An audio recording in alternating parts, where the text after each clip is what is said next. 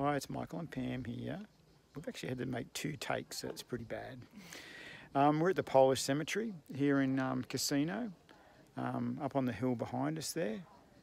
You can see the Benedictine um, Abbey, which is um, the famous Abbey of uh, Monte Cassino. And this was a site of a really savage battle with the Germans um, during the Second World War. So there's, we've been doing some visiting of, of cemeteries today, haven't we, Pam? yes, we've done a Commonwealth War Graves Cemetery down in Cassino too. Um, this is our second visit of one today. This is totally different to Hmm. anything done by the Commonwealth War Graves. Yeah, I'll pan around so you can have a bit of a look. Beautiful. It actually runs up the hill. It's quite amazing. All these young Polish men who came here and gave their lives.